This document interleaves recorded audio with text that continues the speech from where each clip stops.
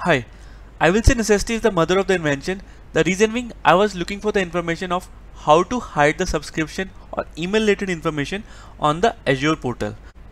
But as such, Microsoft or Azure has not provided any information of how we can hide the subscription or email related information from the Azure portal. So how we will be hiding it? There is one extension which has been created by one developer and it is named as AZ Mask which we can use it, we can add into a browser and it will help us in hiding the email or subscription related information. So I'll directly jump into the Azure portal and see how we will hide the information. Okay, right now I am into Azure portal and if you can see here my email ID is visible and let me click on this icon of subscription my subscription ID is also visible and if I want to hide that what I have to do? I have to go to the Chrome Web Store. I'll click this link. Once into your Chrome Web Store in this text box type AZ mask. Press enter.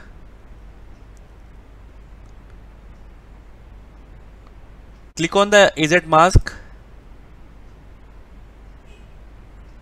Once it has opened the AZ mask click on add to Chrome add extension.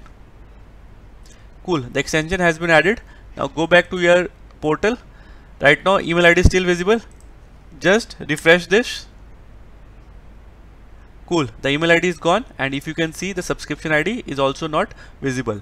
So now this extension what it does basically it hides the email ID it hides the subscription and it also hides the connection related information if you want to know more about it just go to this particular link. I'll share it in the description. And there he has mentioned it.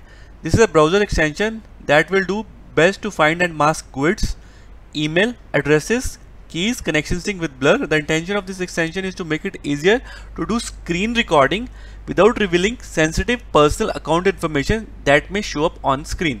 So basically you can use this feature at the time of your screen recording. And whenever you don't want to show any personal or sensitive information.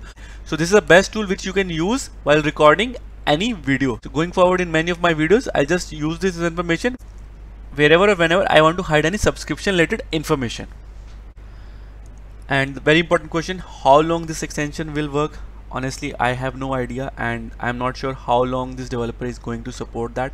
So I just say use it as long as you want or till it works, till it lasts. Thank you